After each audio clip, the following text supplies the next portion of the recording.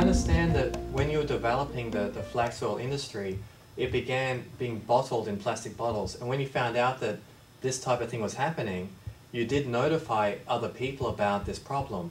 Why is it that the uh, other companies keep on using plastic bottles? Well, let me answer, go back behind that question. Actually, I, in, I developed that and recommended that plastic bottle on the basis of research that was done for me that wasn't research. The person only asked the, the, the people who make the plastic and sell the plastic, is this okay for oil?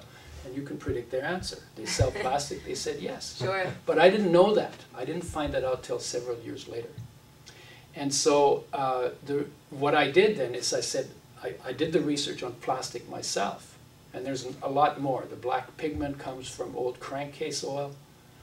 So it's called furnace black, which is like soot. Oh wow. And it has some polycyclic aromatic hydrocarbons. I measured the bottle, there were three parts per million of lead in the bottle. I think that came from that mm. oil from the days of leaded gasoline. Wow. Then there's eight parts per million of aluminum, that's the catalyst for making, for the polymerization reactions to make the plastic. And then there is some stabilizers in there. One of them drifts into oil very quickly, that's been shown recently.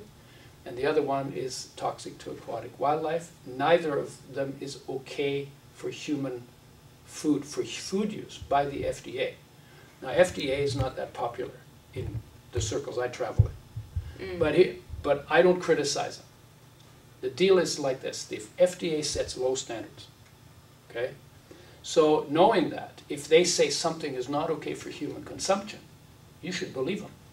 Yeah. If they say something is okay for human consumption, you might, you should still maybe have some doubts about it, because they've put so- lots of drugs on the market that had to be removed or withdrawn Yes. because they caused so many problems.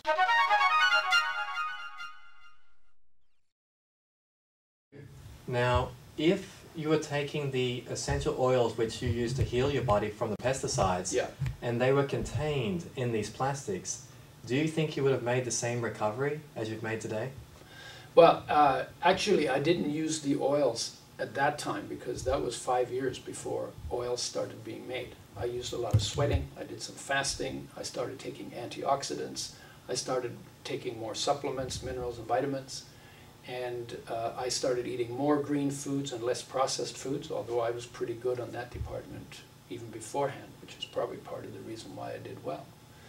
Um, but the oil has made a big difference to my energy levels. And that was because simply I wasn't paying attention to the oils, and now I do. Mm-hmm. Now, would it have in plastic been as good? I can't tell you for sure, but I know that plastic, on principle, does not belong in the human body. It was never in nature. Life never made a program to deal with it. Maybe it deals with some of them okay, but you never know for sure because this is not natural and life's program or genetic program was only made as an adaptation for us to live effectively in the natural system within we developed in which life created this whole thing.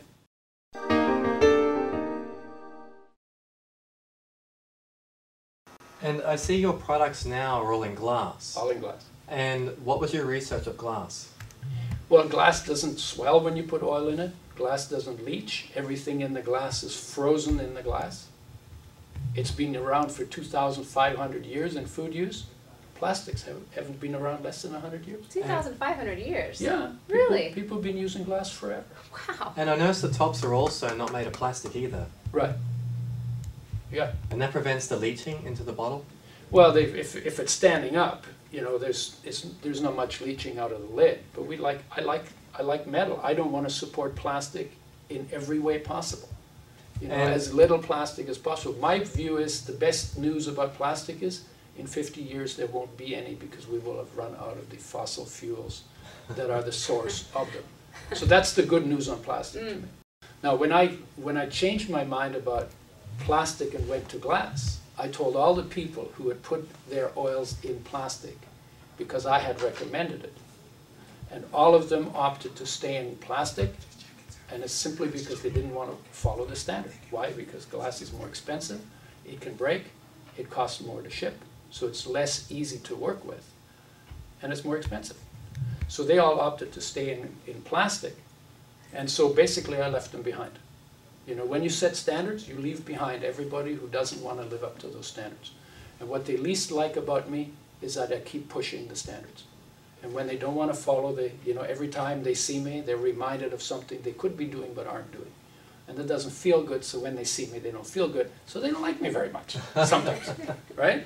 Well, But the people who are getting the benefits like me a lot, and I think that's a fair trade-off, oh, that's a great trade-off. than, more than a fair trade-off.